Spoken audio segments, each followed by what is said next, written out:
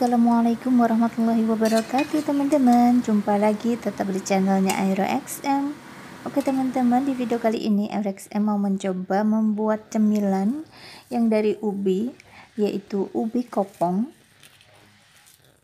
Cemilan ini sangat enak banget Buat konco ngopi.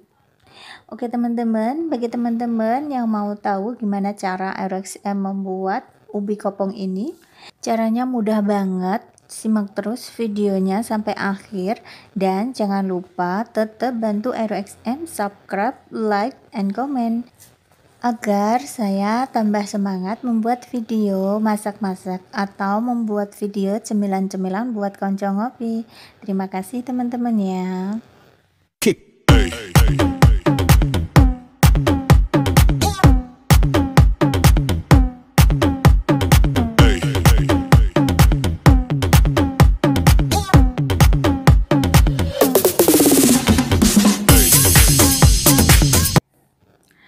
Cara yang pertama yaitu ubinya saya akan kukus dulu teman-teman ya.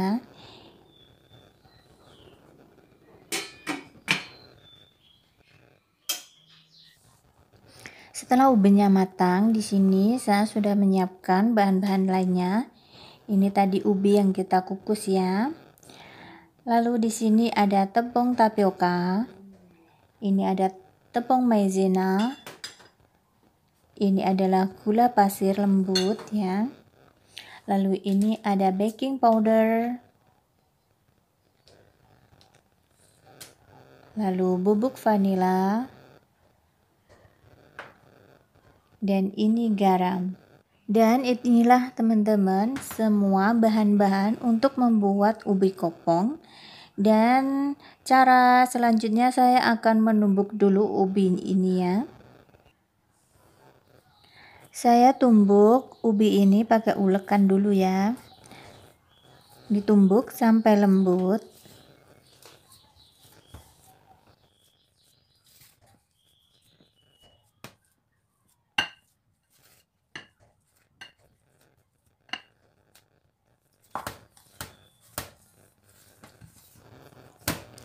Dan ini kelihatannya ubinya udah lembut teman-teman ya.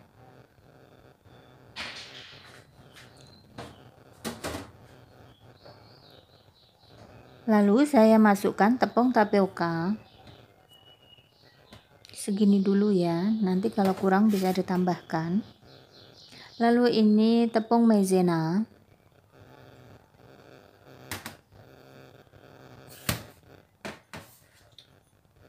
Lalu ini gula pasir lembut. Gula halus ya.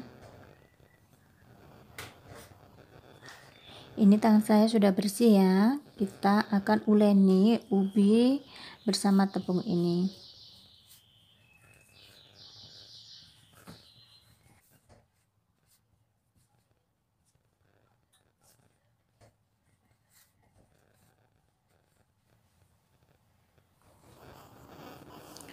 Lalu aku tambahkan bubuk vanila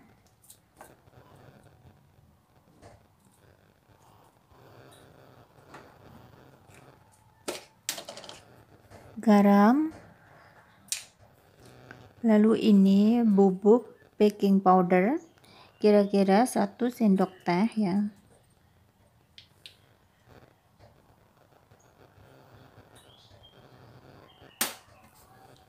Lalu kita uleni lagi sampai adonan kalis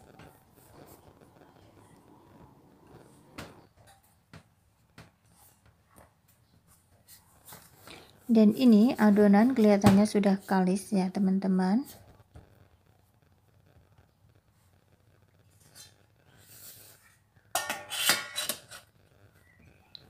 Lalu saya akan membuat bulatan-bulatan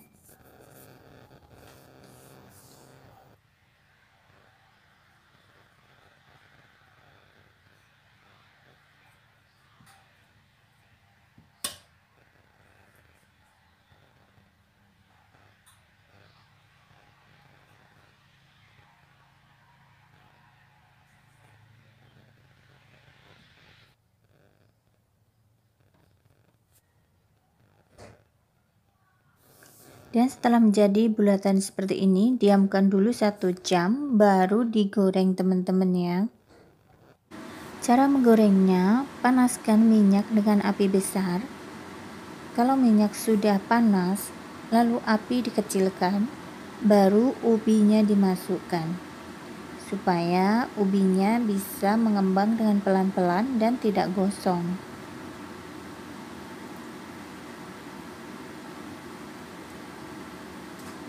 Lalu aduk pelan-pelan, maka lama-kelamaan ubi ini akan mengapung ke permukaan minyak. Kelihatannya ubinya udah mulai mengapung dan mengembang ya.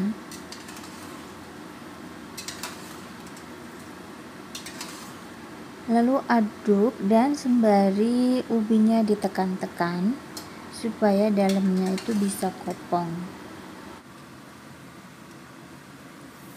sambil diaduk sambil ditekan nggak apa-apa dia ditekan dia akan penyet ya tapi dia akan kembali lagi menjadi bulat.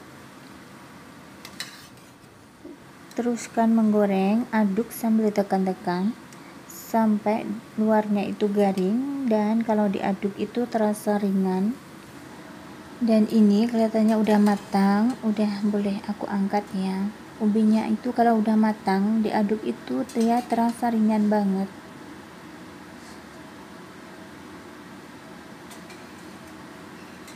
dan inilah hasilnya teman-teman ubi kopong yang enak, lezat banget, cocok banget buat ngemil konco ngopi bersama teman-teman atau bersama keluarga Anda di rumah.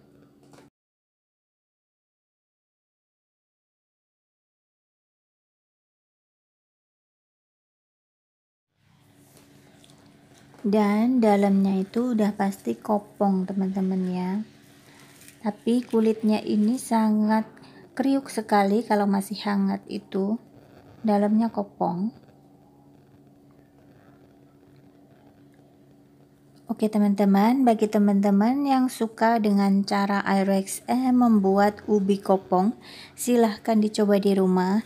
Dan tetap bantu IRXM subscribe, like, and comment. Terima kasih teman-teman. Wassalamualaikum warahmatullahi wabarakatuh. Bye-bye.